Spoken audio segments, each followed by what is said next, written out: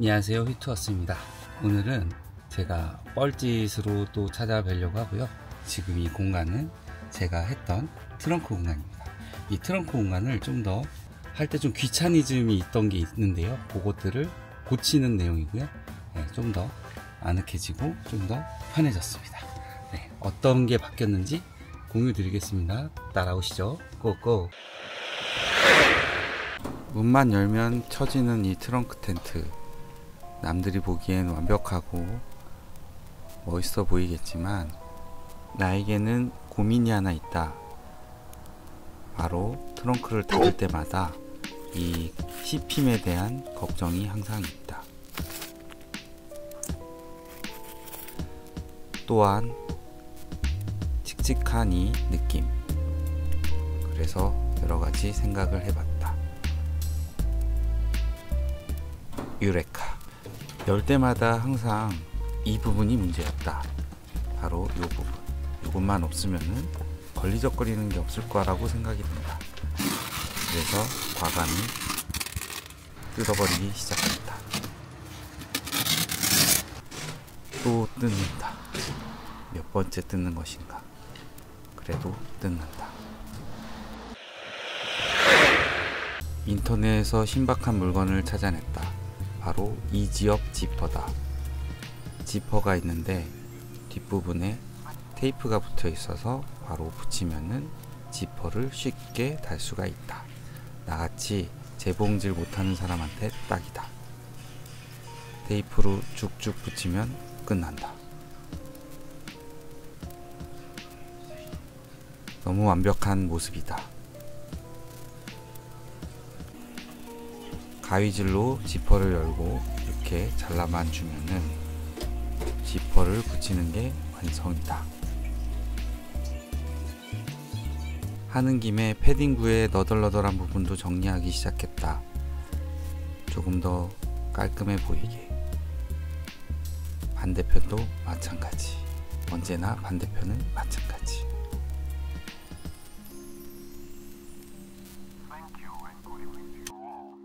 그리고 이건 무모한 도전일 것 같았는데 저번에 남은 레자 가죽을 텐트에 붙여보기로 했다.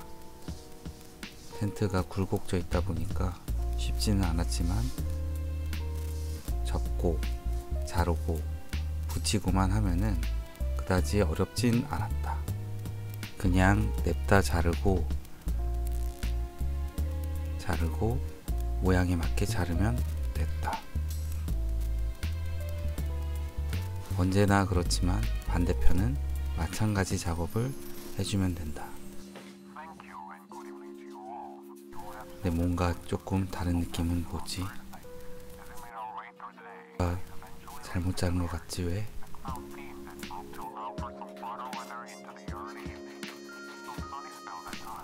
일단 끝났다.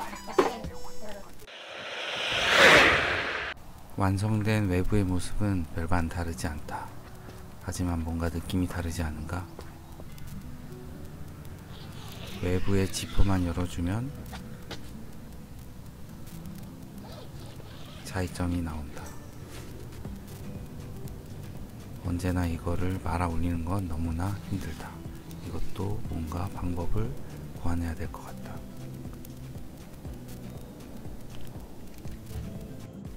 달라진 곳은 바로 이 부분이다.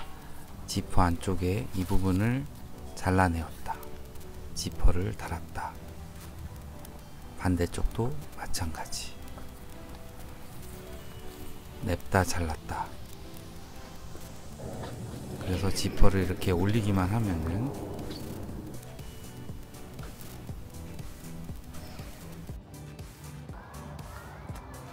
네, 이렇게 자크를 열면은 그냥 통째로 빠지게 되어 있고요. 이렇게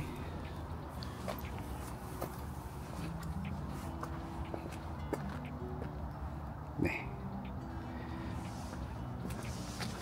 하부에 걸리는 게 아예 없죠. 보시는 것처럼 그냥 네, 양옆을 개방이 되어 있습니다.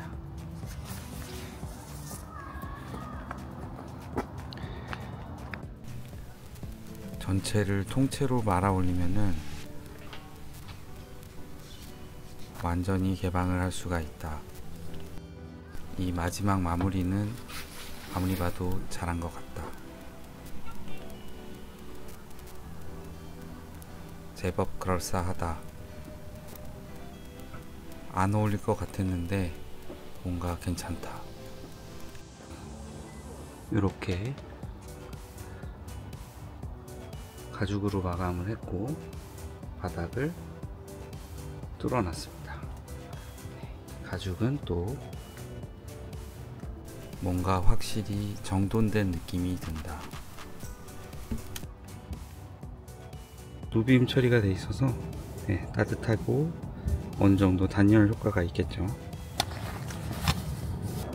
네, 가죽에 단열 처리가 돼 있어서 어느 정도 도톰하고 텐트보다 확실히 도톰합니다. 그리고 네, 아예 내부를 본드 뿌리는 본드를 통해서 붙여버렸어요. 그래서 뭐 어느 정도 펄럭거림이나 그런 게 훨씬 덜하고요.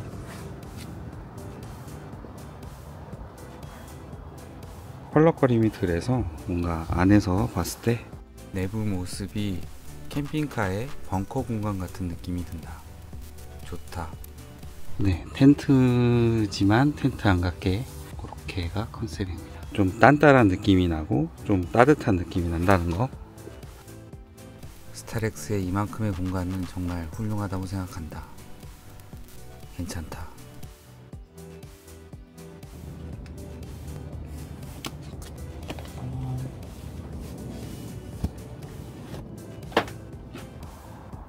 바닥이 빵 뚫렸죠. 그래서 무엇보다 텐트를 닫을 때 아무 처리 없이 닫을 수 있다는 게 이번 거의 핵심입니다.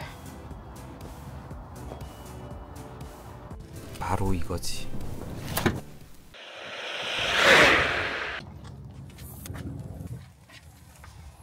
네, 이렇게 오늘은 트렁크 공간을 조금 더 아늑하고 편하게, 좀 더 편하게 만들려고 제가 귀차니즘을 고쳐봤고요.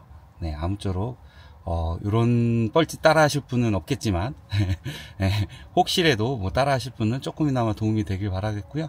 네, 오늘은 여기까지만 진행하겠습니다.